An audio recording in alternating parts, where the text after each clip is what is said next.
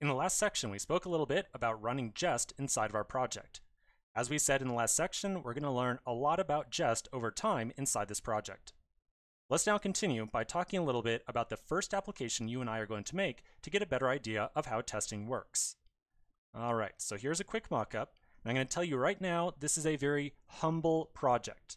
So we're very purposefully starting with a simple project to get a good idea of how testing works by itself and not have to simultaneously worry about making a really complicated project. In other words, if we tried making a complicated project and learning testing at the same time, well, that'd be a little bit challenging. So instead, we're going to work on a very simple and straightforward project so we can really focus on the testing aspect of it. So we're going to essentially be building a comment form of sorts. At the top of our application, we're going to display a comment box of sorts to our user. So a user can enter in some text to this little text area right here that represents the comment that they're trying to add. After they add in some amount of text, they can click on the submit button right here. And our application should then take all the text out of the text area and add it to the list of comments down here.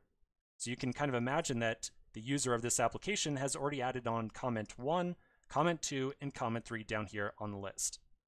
So like I said, straightforward application, but it's going to allow us to focus 100% on the testing setup. Now, a little bit more on the tech stack we're going to use here. So we're going to go totally overboard here, and we're going to use both React and Redux to build out this app. Now, without a doubt, we could build this thing without making use of Redux at all, but of course, we want to understand how to work Redux into our testing setup. So yes, we're going to include Redux in this project as well.